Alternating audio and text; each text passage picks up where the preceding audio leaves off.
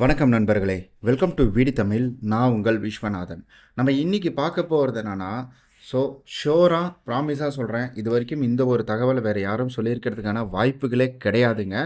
முதல் முதல்ல நம்ம வந்துட்டு பர்சனல் லோனில் ஒரு முக்கியமான ஒரு உண்மையாக உடைக்க போகிறேன் இதை வந்துட்டு ஸ்கிப் பண்ணாமல் பாருங்கள் உண்மையான உண்மைனா ஒரு சிலருக்கு தெரிஞ்சிருக்கலாம். ஆனால் மெஜாரிட்டியாக இங்கே யாருக்கும் தெரியாது. ஸோ இந்த ஒரு விஷயத்த நம்ம சரி பண்ணிட்டோம் அப்படின்னா நம்ம வந்துட்டு சிபிலெல்லாம் அப்பாற்பட்டது அதெல்லாம் விட்டுருங்க. சிபிலில் வந்துட்டு எழுநூறு இருக்கணும் எட்நூறு இருக்கணும் அதெல்லாம் விட்டு தள்ளுங்க. அதை விட வந்துட்டு ஒரு அற்புதமான ஒரு ட்ரிக்ஸ் தான். ஸோ இதை நம்ம சரி பண்ணிட்டோம் அப்படின்னா இதை நம்ம சரி பார்த்துக்கிட்டு உள்ளே போனோம் அப்படின்னா நூறு சதவீதம் நமக்கு லோன் அப்படின்றது கிடைக்கும்.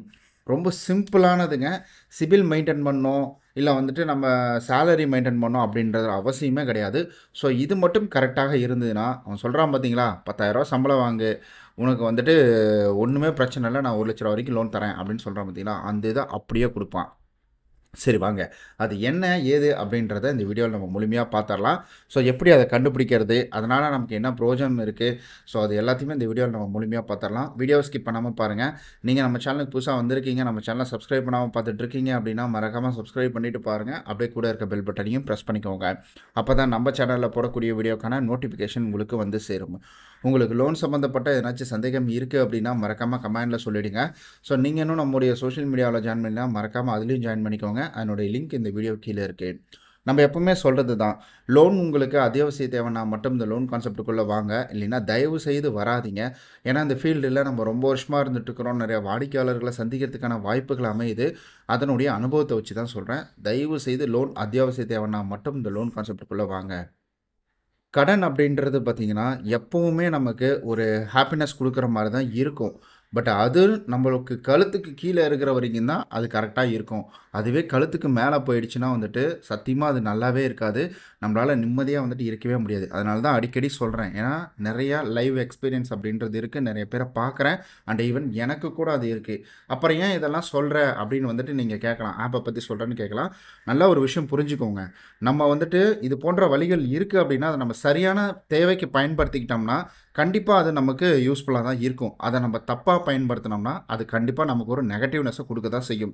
இப்போ வீட்டில் இருக்கிற காய்கறி இதை வச்சு நம்ம வந்து காய்கறி கூட அறியலாம் இல்லை மற்றவங்கள காய கூட படுத்தலாம். ஆனால் நம்ம என்ன செய்கிறோம் காய்கறி மட்டும்தான் அறிகிறோம் அதே போல் தான் இந்த லோன் அப்படின்றதும் நீங்கள் அதை உங்களுடைய தேவைக்கு சரியான தேவைக்கு எடுத்து நீங்கள் உபயோகப்படுத்தி அதன் மூலிமா நிறையா க்ரோத் அப்படின்றத கொண்டு வரலாம். பட் அதை நம்ம சரியாக கையாள தெரியாததுனால தான் நம்ம இவ்வளோ ஸ்ட்ரகிளில் மாட்டிக்கிறோம். நான் வந்துட்டு கண்டிப்பாக இதை பற்றின வீடியோஸும் நான் போடுறேன் நான். போடாமலாம் இருக்க மாட்டேன். மக்களுக்கு ஒரு விழிப்புணர்வு வேணும் அப்படின்றதுக்காக இனி வந்துட்டு நம்ம ஒரு லோனு அதை எப்படி கையாளுறது? அந்த லோன்னால் நமக்கு என்னென்ன பெனிஃபிட் இருக்குது அதை எப்படி நம்ம யூட்டிலைஸ் பண்ணிக்கிறது? அப்படின்றது எல்லாத்தையுமே இந்த வீடியோவில் இந்த வீடியோவில் இல்லை சாரி ஸோ இனி வரும் காலங்களில் நம்ம தொடர்ந்து பார்க்க போகிறோம் இப்போ நான் ஃபார் எக்ஸாம்பிள் கொடுக்கறதுக்காக ஒரு லோன் கொடுக்குற அஃபிஷியலோட வெப்சைட்டில் தாங்க இருக்கிறோம். லோன் ஆப்போட அஃபிஷியல் வெப்சைட்டில் தான் இருக்கிறோம். ஸோ இந்த வெப்சைட்டில் என்னென்ன சொல்லியிருக்காங்க அப்படின்றத ஒரு ரேண்டம் பார்வை பார்த்துட்டு வந்துடலாம். ஓகே இப்போ நம்ம ஒன் பை ஒன்னாக பார்க்கலாம். ஸோ இந்த வெப்சைட்டை பொறுத்த வரைக்கும் என்னென்னா கிரெடிட் ரிப்போர்ட்டிங் அப்படின்றது ஃப்ரீயாக நீங்கள் பண்ணிக்கலாம் அப்படின்றது இதில் சொல்லியிருக்காங்க மந்த்லி கிரெடிட் ரிப்போர்ட் அப்படின்றது சொல்லியிருக்கு. ஃப்ரீ கிரெடிட் ரிப்போர்ட் அப்படின்னு சொல்லியிருக்காங்க ஆக்சுவலி நம்ம தப்பாக புரிஞ்சிக்கூடாது இவங்க வந்து நம்ம வந்து ரிப்போர்ட் அப்படின்றது நம்ம பண்ண முடியாது. இவங்க உங்களுடைய சிபில் ஸ்கோர் என்ன இருக்குது எப்படி இருக்குது அப்படின்ற ரிப்போர்ட்டை உங்களுக்கு கொடுப்பாங்க. ஸோ இதில் டிஜிட்டல் அனலைசிங் அப்படின்றது டோட்டல் அனலைசிங் அப்படின்றதும் இதில் இருக்குது. ஸோ பர்சனலேஷனுக்கான வந்துட்டு டிப்ஸு அதாவது உங்களுடைய கிரெடிட் ஸ்கோரை இம்ப்ரூவ் பண்ணுறதுக்கான டிப்ஸும் வந்துட்டு இதில் அவைலபிளாக இருக்கா? அதிகமாக இதில் ப்ரீ அப்ரூவ்டுக்கான ஆஃபர் அப்படின்றதும் நிறைய இருக்குது அப்படின்னு வந்து சொல்லியிருக்கிறாங்க. ஸோ உங்களுடைய சிபில் ஸ்கோர் வந்து நல்ல குட் ஸ்கோராக மாறுறதுக்கு நாங்கள் நிறையா ஹெல்ப் பண்ணுவோம். இம்ப்ரூவ்மெண்ட்டுக்கான நிறையா விஷயங்கள் நாங்கள் இதில் கொடுத்துருக்குறோம் அப்படின்றதையும் இதில் சொல்லியிருக்கிறாங்க. இன்னும் கொஞ்சம் கீழே போனோம்னா ஸோ இதில் வந்துட்டு கிரெடிட் ஸ்கோர்னால் என்ன? ஸோ அது எதுக்காக நம்ம பயன்படுத்துகிறோம் அப்படின்றத வந்துட்டு ஒரு பேசிக் நாலேஜை வந்துட்டு இதில் சொல்லியிருக்கிறாங்க. ஸோ சிபில் ஸ்கோர்னால் முந்நூறு இருக்கும் முந்நூற்று தொள்ளாயிரம் இருக்கும் அப்படின்ற மாதிரி சொல்லி சொல்லியிருக்கிறாங்க. சரி ஓகே ஸோ இதை பொறுத்தளவுக்கு வந்துட்டு நமக்கு பர்சனல் லோனாக நமக்கு என்ன தெரியும்? நம்ம வந்துட்டு இப்போ ஒரு லோன் எடுக்கிறோம். லோன் எடுத்து வந்துட்டு அதை பேமெண்ட் பண்ணுறோம் அப்படின்ற ஒரு விஷயம் அப்படின்றது நமக்கு நல்லாவே தெரியும். லோன் வந்துட்டு நமக்கு ஒரு பர்சனல் லோன்னா ஒரு பத்து லட்சம் அஞ்சு லட்சம் நமக்கு கொடுப்பாங்க. அதை நம்ம மாதம் மாதம் கரெக்டாக பேமெண்ட் பண்ணுறோம் இதெல்லாம் முடிவு பண்ணுறது யார் அப்படின்னு பார்த்தீங்கன்னா நம்மளுடைய வந்துட்டு சம்பளம் தான் முடிவு பண்ணுது. இல்லை நம்மளுடைய சிபில் ஸ்கோர் தான் முடிவு பண்ணுது அப்படின்றத நம்ம நினச்சிட்டு இருக்கோம். ஸோ ஒரு வகையில் சிபில் ஸ்கோர் தான் முடிவு பண்ணுது அப்படின்றது வந்துட்டு ஒரு பத்து பர்சன்டேஜ் உண்மை அப்படின்னு இருந்தாலும் இங்கே உங்களுடைய லோன் அமௌண்ட்டு எக்ஸ்ட்ரீம் லெவலில் முடிவு பண்ணுறது யார் அப்படின்னு கேட்டிங்கன்னா உங்களுடைய வருமானம் மட்டும்தான். நீங்கள் வந்துட்டு எவ்வளோ வேணால் சிபில் ஸ்கோர் வச்சுக்கலாம் நைன் ஹண்ட்ரடு கூட வச்சுக்கலாம். ஆனால் உங்ககிட்ட சரியான வருமானம் அப்படின்றது இல்லை. இப்போ நீங்கள் ஒரு ஆப்பில் லோன் எடுக்க போகிறீங்க அந்த ஆப் கேட்டிருக்கிற சேலரி உங்கள்கிட்ட இல்லை அப்படின்னா அப்போ கம்பல்சரி இவன் உங்களுக்கு லோன் தராமல் இருக்க மாட்டான். என்னாகும் பார்த்தீங்கன்னா அதை விட கம்மியாக இவன் அப் டு வந்துட்டு டென் லேக்ஸ் போட்டிருக்கானா உங்களுக்கு வந்துட்டு அவன் சொன்னதை விட உங்களுக்கு வந்துட்டு ரொம்ப கம்மியாக இருக்குன்னா உங்களுக்கு வந்துட்டு ஒரு பத்தாயிரமோ பாஞ்சாயிரமோ தான் இவன் கொடுப்பான் ஸோ இது வந்துட்டு நிறையா பேருக்கு தெரிஞ்ச விஷயம்தான்.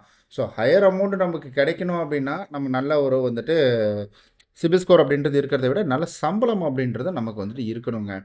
சரி ஓகே இது நம்ம எல்லாம் எல்லாத்துக்குமே வந்துட்டு தெரிஞ்ச விஷயம்தான். பட் நம்ம வந்துட்டு சிபில் ஸ்கோரில் இன்னொரு முக்கியமான விஷயம் இருக்குங்க. அந்த விஷயத்த நம்ம தெரிஞ்சுக்கிட்டால் போதும். ஸோ இன்னும் என்கிட்ட நிறைய பேர் என்ன கேட்டாங்கன்னா என்னங்க இந்த மாதிரி ப்ரூஃப் எல்லாம் கரெக்டாக கொடுத்தா போதாதா? அதாவது ஒரு நல்ல சிபில் ஸ்கோரை வச்சுக்கிட்டு எனக்கு வந்துட்டு எட்நூறு சிபில் ஸ்கோர் இருக்குது அது போதாதா? ஸோ அதை வச்சுக்கிட்டு நான் ஒரு இன்கம் ப்ரூஃப் ஏதாவது ஒன்று கொடுத்துட்றேன் அதுக்கப்புறம் வந்துட்டு பேசிக் சிபில் ஸ்கோரே வந்துட்டு அறநூற்றி ஐம்பது எழுநூற்றி இருபது இருந்தாலே லோன் கொடுத்துருவாங்க. ஸோ அதுக்கப்புறம் address proof ID proof bank statement அப்புறம் எம்ப்ளாயி நான் வேலை செய்கிறதுக்கான ப்ரூஃபு அப்புறம் ஏஜ் ப்ரூஃபு இதெல்லாம் நான் கொடுத்துட்டாலே போதாதா? டெப்த் இன்கம் ரேஷன் வந்துட்டு நான் கொடுத்துட்டா போதாதா அப்படின்ற மாதிரி வந்துட்டு கேட்பாங்க. ஸோ இதெல்லாம் ஒரு பக்கம் இருந்தாலும் இன்னொரு முக்கியமான விஷயம் இருக்குங்க.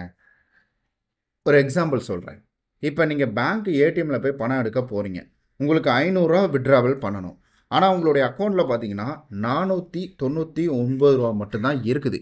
இப்போ நீங்கள் ஐநூறுரூவா அமௌண்ட்டை போட்டு நீங்கள் ஐநூறுரூவா எடுக்கிறதுக்காக முயற்சி பண்ணிங்கன்னா அங்கே என்ன சொல்லும்? இன்சஃபிஷியன்ட் பேலன்ஸ் அப்படின்னு தான் சொல்லும்.